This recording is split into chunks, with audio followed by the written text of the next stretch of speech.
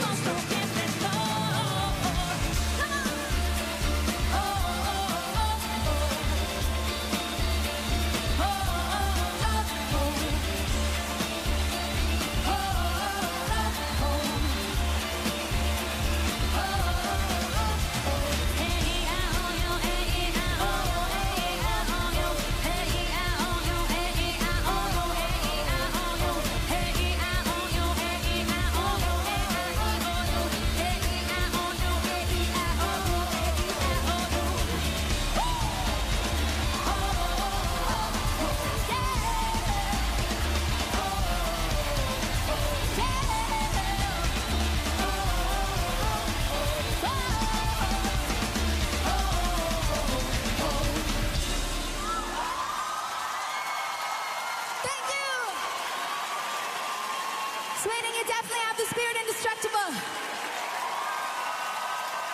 Thank you so much.